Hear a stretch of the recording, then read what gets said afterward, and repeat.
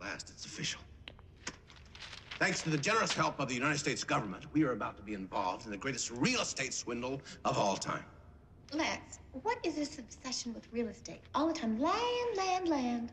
Miss Teschmacher, when I was six years old, my father said to me, Get out. before that, he said, son, stocks may rise and fall. Utilities and transportation systems may collapse. People are no damn good.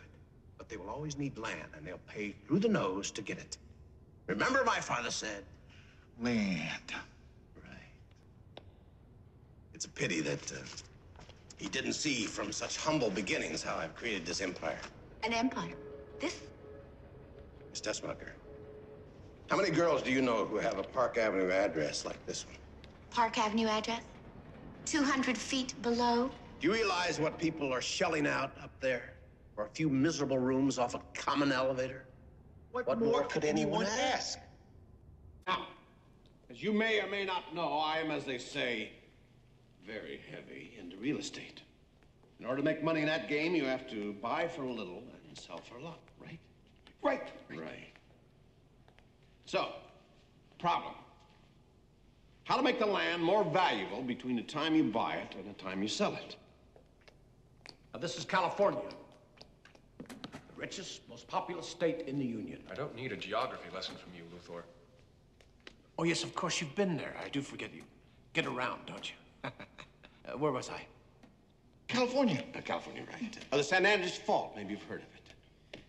Yes, it's the joining together of two land masses. The fault line is unstable and shifting, which is why you get earthquakes in California from time to time. Wonderful. Couldn't have said it better myself. Everything west of this line is the richest, most expensive real estate in the world. San Diego, Los Angeles, San Francisco. Everything on this side of the line is just hundreds and hundreds of miles of worthless desert land, which just so happens to be owned by. Lex Luthor Incorporated.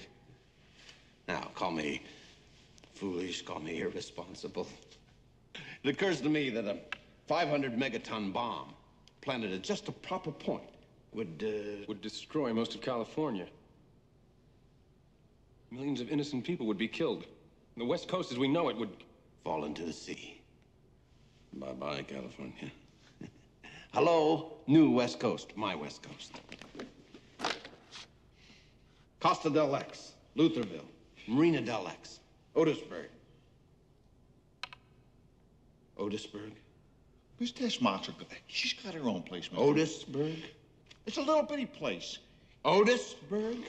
Okay, I just wipe it off. That's all. It's a little town. You're a dreamer, Lex Luthor. A sick, twisted dreamer. Your plan couldn't possibly work. I'll admit there were a few problems. Adjusting the precise trajectory of the missile, finding the optimum stress point for the fault line itself. Which, by the way, is uh, target zero, right here. Ooh,